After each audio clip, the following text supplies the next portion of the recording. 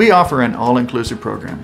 We are going to be there with education, with materials that you can take home, with the vitamin supplements that are appropriate for you, medications as needed, and the complete workup that makes sure that you're safe for this program. Uh, if you come in for that initial consultation and there's going to be anything that's going to be a big problem for you, then we don't need you to start the program.